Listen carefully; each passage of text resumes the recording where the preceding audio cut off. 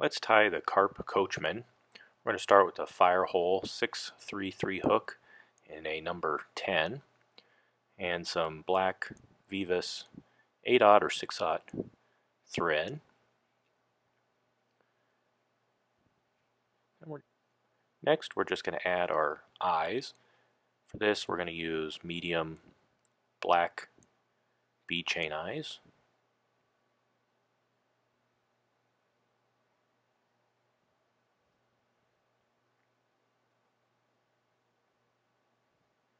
And we can take our thread just behind the eyes. And I'm going to just measure out here a big clump of golden pheasant tippets.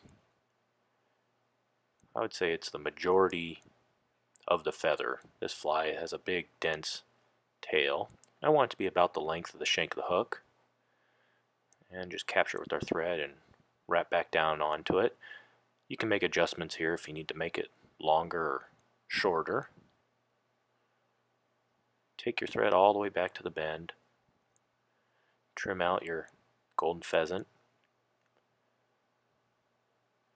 Now we're ready to start to build our body. You can use a lot of different kinds of, of dubbing for this. I'm just going to use some Hareline dubbing, and I'm going to use a dubbing loop. Don't have to use a dubbing loop. You can just use a regular technique of spinning it onto the thread, but I'm going to use a dubbing loop here just because I'm going to go for a kind of a shaggy look on the body. It's a little easier to achieve that with a dubbing loop. And we're just going to use some Hareline dubbing in a rust color, but you can use a lot of other type of coarse dubbing. Possum dubbing works great, goat dubbing works great. You can also tie it in other colors too. We're going to just tie it in a rust color, but you can do this in brown, olive, any kind of carpy color.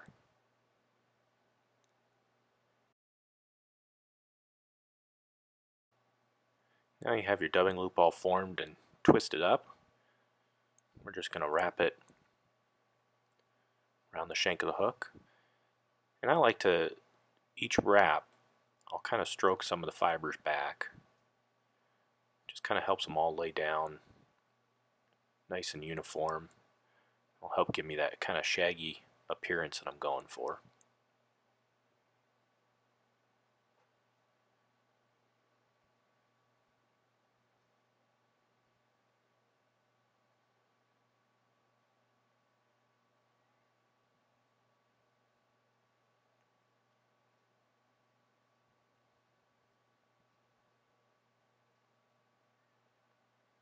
Once you get right behind the eyes, I'm just going to capture all that dubbing with our thread.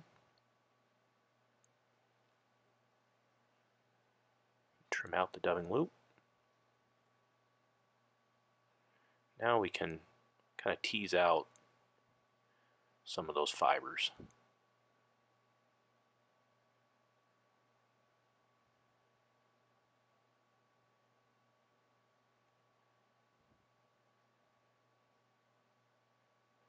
Now we're ready to move on to the, the collar. For that we're going to use two partridge feathers. I'm going to tie them in by the, the tips. I've also stripped out all the fluffy plumage down at the base of the feather too, just leaving the stiffer hackle barbs. And it's easiest to clip in with a pair of hackle pliers for this step. I kind of stroke all those fibers back.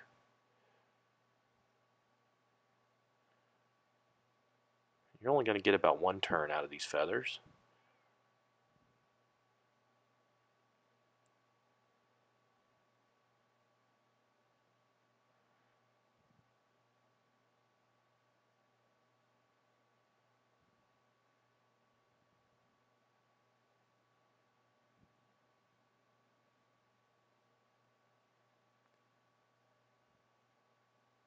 trim out the butt ends.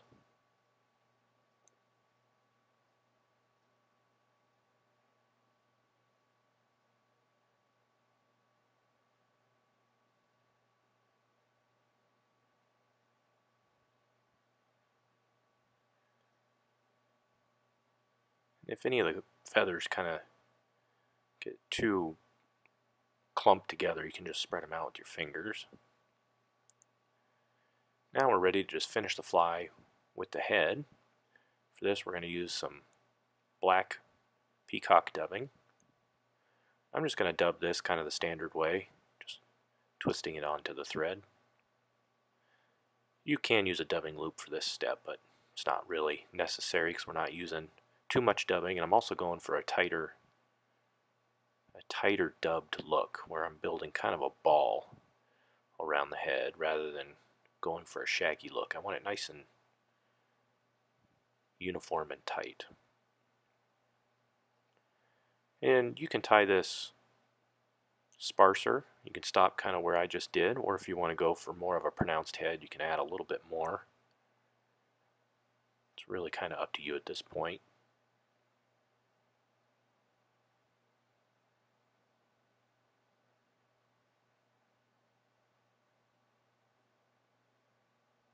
And we'll stop there. That looks about good. And all you have to do is whip finish and you'll have a finished carp coachman.